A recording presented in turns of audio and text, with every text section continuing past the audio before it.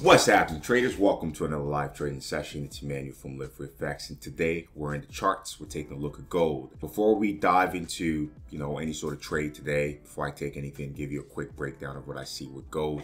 Um, overall, gold has been in a buyer's market. Prices you know been trending higher. Gold is currently making an all-time high and that's what we see right now with price just you know pushing higher and this week we saw gold prices make an all-time high as price traded you know up to the uh, 22 um, hundreds. Taking a look at gold right now, we've gotten a pullback from yesterday and today. So as I come into the market today, I still ultimately want to go with the overall flow of the institutions, which is you know what the higher time frame are doing. You know, uh, buyers being buyers. I would like to be a buyer. What we see here is we have a solid push to the upside and then we've seen this pullback. But overall, it hasn't changed the direction because from a market structure standpoint, we still have this low in place and we still have this main low in place. So in order for sellers to come into the market, we likely have to see price trade uh, below this uh, December 23rd high and continue moving lower. But as of right now, it is still a buyer's market. So it's in my best interest to for a uh, a buy opportunity. So scaling down to the lower time frame here, you know, what I have mapped out is uh, the fact that price has traded into a larger accumulation zone and the accumulation zone is right here. This was the start of the big push that took place on March 20th, right? And, you know, price just pushed up significantly from FOMC, which is a trade that we took in the LiveFree FX community. And I posted this trade right when it was here and, you know, let you know the members in the community know hey this is what you can likely expect for gold.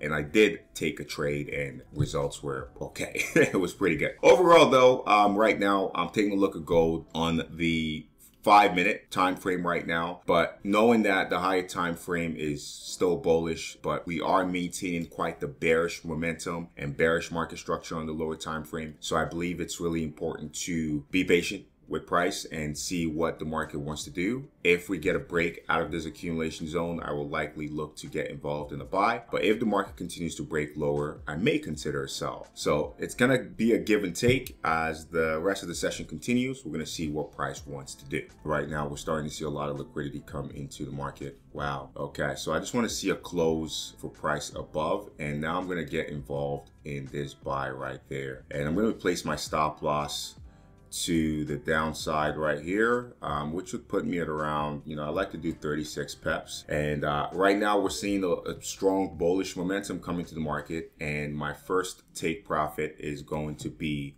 uh, 30 peps, right? I have the 30 pep rule and I usually look to take something right around here. So it's going to be slightly above this high right there. If price trades above here, I'm going to be taking, you know, 30 peps off the table. We're up around 500 uh, dollars on this trade. And of course, my broker of choice is AvaTrade. You know, a regulated broker. This is part of the trading game. You got to show up each day and you got to do the same thing. You got to put in the work. It is Friday. I'm normally not in the market too big on Fridays, but my philosophy is you got to come in sometimes and you got to find opportunities. This week was uh, was a little bit of a was I wouldn't say it was a tough one. It was just you know Monday price didn't go in my favor. I had a winning uh, day on Wednesday. Overall, still up for the week, but not by anything significant. Coming in and we're just you know, following our own process, doing what we do, and seeing that the market is going to be gracious enough to give us something, right? I hope you guys have had a pretty solid trading week so far. Then, as you continue your trading, always remember to just maintain a high degree of consistency in the market when you're winning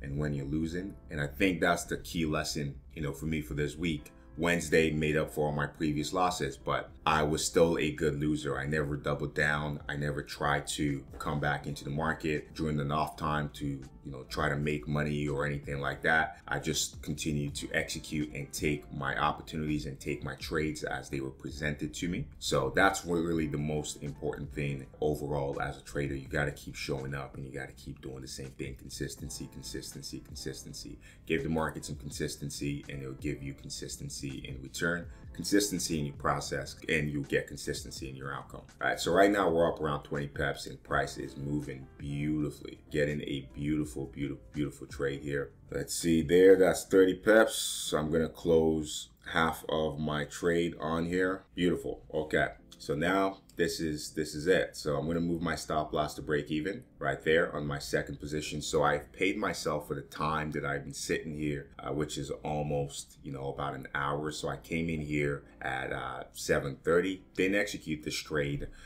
obviously until you know a couple of minutes ago, but you know I've still I've still paid myself for the time that I'm sitting here. So now my focus is as the market continues to push higher, create new market structure, right? Create a new low. I am going to trail my stop loss and see if price is going to uh, ride that. But I wouldn't be surprised because we haven't exactly had the pullback to the downside yet. I still wouldn't be surprised if price does decide that it wants to pull back. But overall, I have secured $1,500 for today. I'm cool with that. Let's see what price wants to do. If the market wants to continue moving higher or if price wants to pull back a little bit and, and stop us out of the trade. Move my stop loss down to this low. So right now I'm securing around $465 on this trade here. So yeah, this is this is it. It's not even 7:30 yet, or it's not even 8:30 yet, and we've pretty much already done almost two grand on gold here. I'm very I'm very grateful. And the week off, pretty solid, pretty good. Normally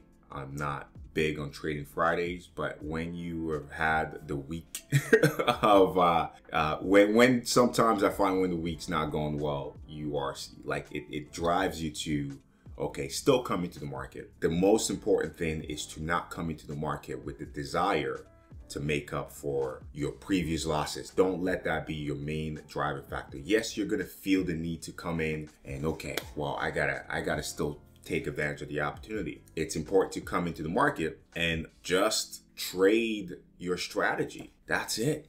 That's it, guys. If you can do that, nothing else matters.